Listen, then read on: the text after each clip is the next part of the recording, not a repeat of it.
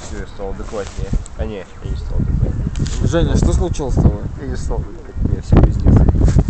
Понимаете, что это такое Давай пиздец? поговорим нормально. Это когда все становится очень плохо. Что с тобой? Почему ты таким стал? Мне очень плохо. Чего? Мне очень плохо. Все случилось очень плохо, сложилось так плохо. Леху в тюрьму забрали. Нет, не в тюрьму, но в полицию. Почему? Мне очень плохо. Потому что он бухал. Он бухал. Да. Как много? И ты тоже? Он очень много бухал. Ты что понимал? Я законопослушный гражданин Словенской Республики, я не принимал. Точно? Он, он А принимал. тогда руку разбил? Я споткнулся и упал. Видишь, она до сих пор кровоточит, хотя Как я держал ее на снегу. ровной поверхности, ничего не принимая?